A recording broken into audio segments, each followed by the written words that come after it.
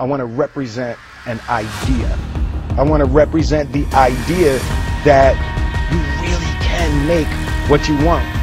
I want my life, I want my work, I want it to mean something. I want the world to be better because I was here.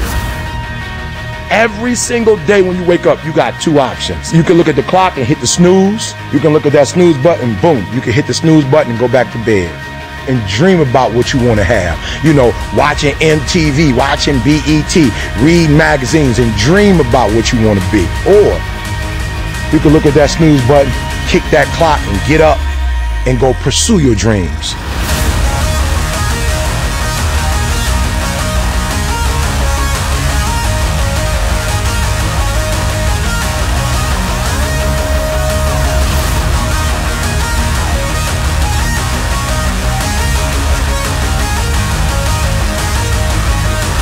Every day you wake up, you got to start with that vision.